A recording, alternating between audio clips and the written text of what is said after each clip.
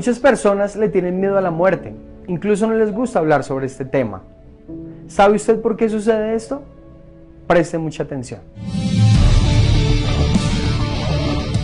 Esto sucede porque infelizmente muchas personas saben que no han llevado una vida de acuerdo con la palabra de Dios y por este motivo le tienen miedo a la muerte. Todos tenemos una cosa llamada conciencia.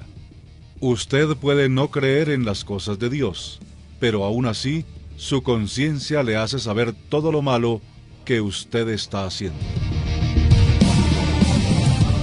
Usted puede mentir aunque nadie sepa. Su conciencia siempre le va a mostrar que esto está mal. Usted puede traicionar a su pareja. De pronto, nadie va a descubrirlo, pero su conciencia siempre le va a acusar de esta traición. Creyendo o no en la palabra de Dios, su conciencia siempre le va a mostrar sus errores. Y no se olvide, si usted no se arrepiente de estos errores, un día usted va a tener que responder por todos ellos, sea en esta vida o en la eternidad.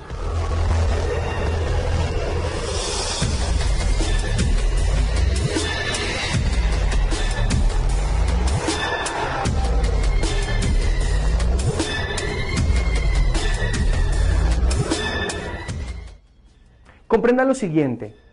Si usted le tiene miedo a la muerte, es porque su conciencia le está mostrando que algo está mal. Es como si su alma le estuviera alertando que en este momento no puede morir. Ahora vea lo que dijo el apóstol Pablo con respecto a la muerte. Pues para mí, el vivir es Cristo y el morir es ganancia.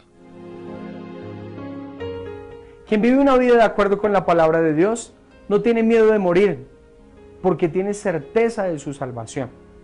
Ella sabe que por haber obedecido la palabra de Dios, su alma estará con Él por toda la eternidad. Me gustaría hacerle una pregunta. ¿Usted tiene miedo de morir? Haciendo un análisis de su vida, si usted muere hoy, ¿qué cree que pasaría con su alma? Deje su comentario. Será un placer saber qué piensa usted sobre este asunto. Que Dios les bendiga.